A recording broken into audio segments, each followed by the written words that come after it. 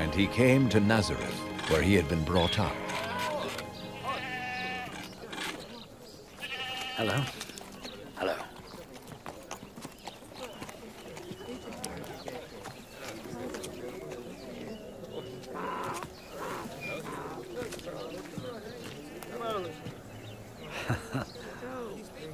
Hello.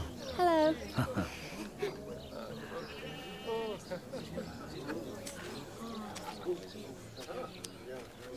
On the Sabbath, he went as usual to the synagogue.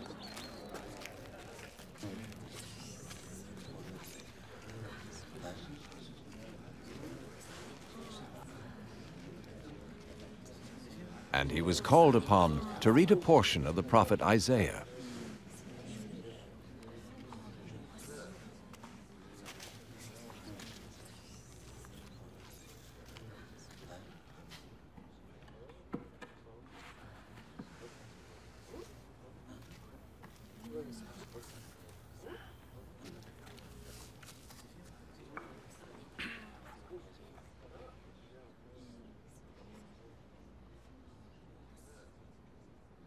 The Spirit of the Lord is upon me, because he has chosen me to bring good news to the poor.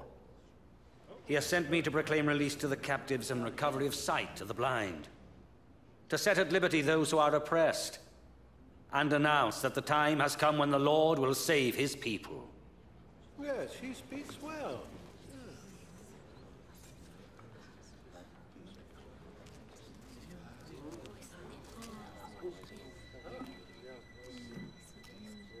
This passage of Scripture has come true today, as you heard it being read. The scripture come true? But only the Messiah can fulfill that promise. How shall we know?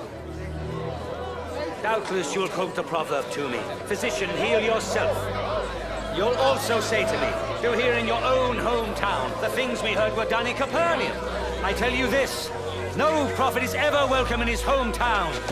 By these words, Jesus identified himself as the Messiah, God's anointed, sent to save his people.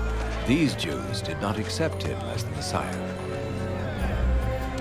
They meant to throw him over the cliff, but he walked through the middle of the crowd and went his way.